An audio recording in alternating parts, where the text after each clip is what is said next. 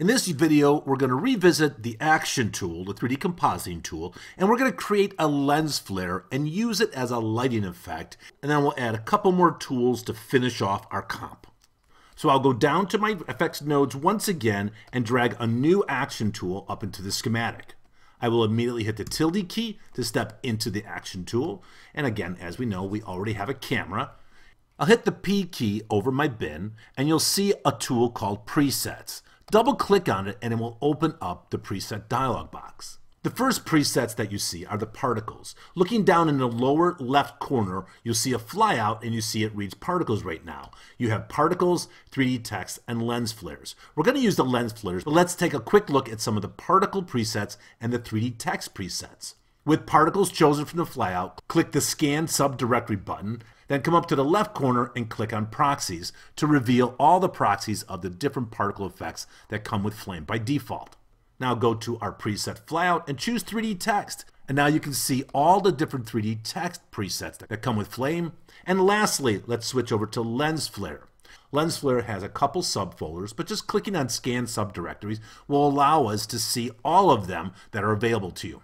I'm going to turn my proxies to be tiles so I can see the list or name of the lens flares. The one I want to choose is Realistic Lens Flare slash Spheric 32 Cook Pan Code D. So select that and choose Load.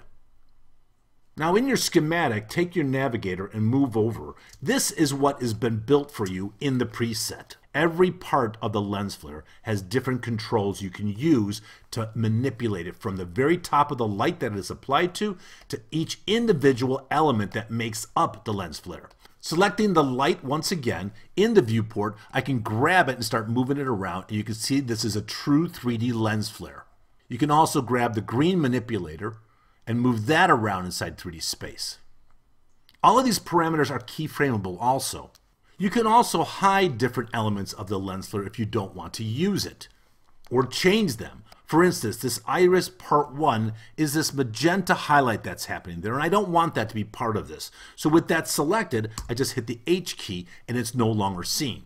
Also, if there's an entire part of the lens flare you don't want to use, you can just detach it this part right here is this little highlight that we see down there. And I don't want to use that, so I'm just going to click and drag across the line to break its connection. In fact, I can hold the Alt key, pick up all these pieces, and just throw them away.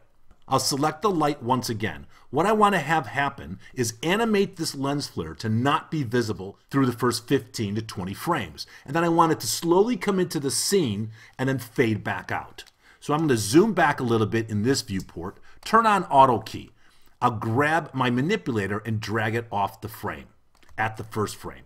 I'll move forward to about the 18th frame and I'll adjust it one more time to set a keyframe for all those values. Then I'll go over to about the 27th frame. I'm going to pull this back in just like that. I'll move forward a couple frames, maybe to the 32nd frame, and again I'll just make a slight adjustment creating some keyframes, and then I'll go to the last frame and I'll pull it so it's totally off the frame again. So as I scrub through here, you can see it's a very slight movement that's going to be happening. I also want to change the intensity of the light.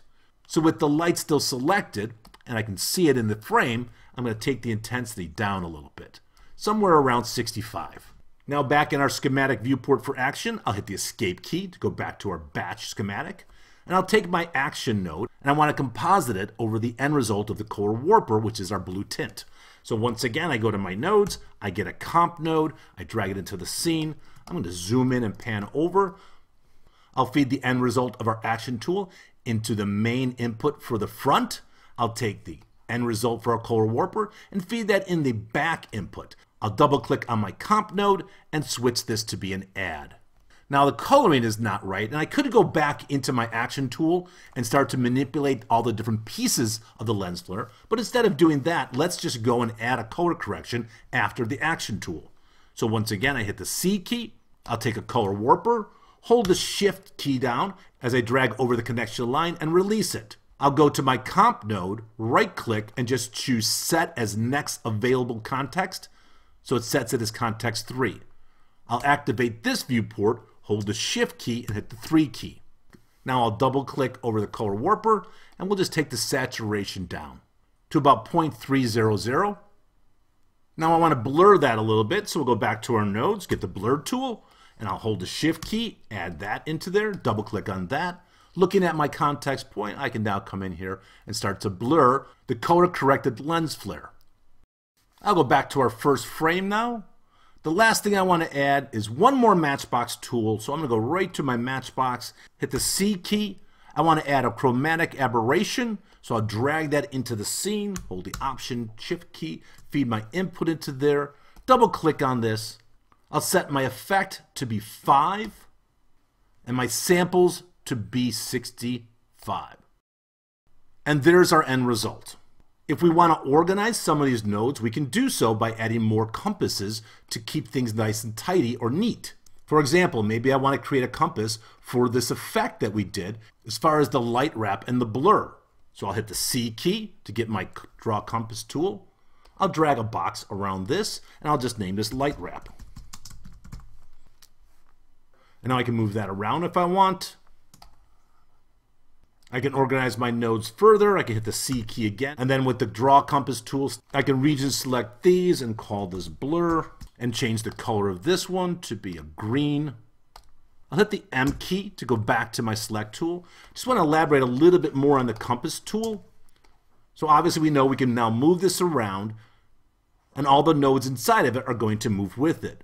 But you can still go and select each node individually in between. And if I take a tool such as this and drag it inside, it now becomes part of that compass. So if I want to take this blur and add it in here, I can do so. And then I can organize the nodes as I want them to be inside of here. There's also a couple hotkeys I'd like to mention as far as navigating and viewing things in the schematic. With this compass selected, if I hold a space bar and I hit the F key, it will focus on that compass. If I hold the spacebar and hit the A key, I will zoom out to view all of my nodes. This hotkey works with anything that is selected, not just a compass. So if I hold down the control key and I select these tools right here and hit spacebar F, I'm going to zoom into those nodes because they were selected. And then again, spacebar A, I zoom back out to see all of my nodes. In the next video, we're going to look at how we can render this back to our desktop, our batch reels, and then also render it out of Flame as a QuickTime file.